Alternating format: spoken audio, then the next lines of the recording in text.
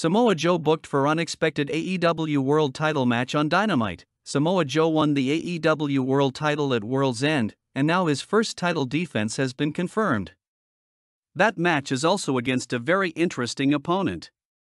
Tony Khan made big deal about Jinder Mahal getting a WWE World Heavyweight Championship match when he had not won a match in around a year.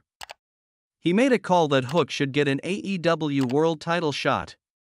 Jinder Mahal asked what the fuck is Hook? That caused plenty of memes to come out, even if Mahal deleted that tweet. Now, Tony Khan has answered back in the biggest way he could, with AEW's booking.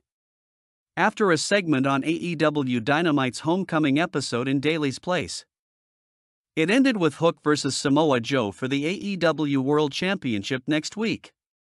We will have to see how this match turns out, because Hook versus Samoa Joe could be quite an encounter. Hook did say that he wanted Joe on AEW Collision, which aired prior to Tony Khan's tweet, but we have to wonder if Hook would still be in this match if Tony Khan did not have that little social media field day. Friends, what is your take on AEW's booking for next week? Let us know what you think in the comments below.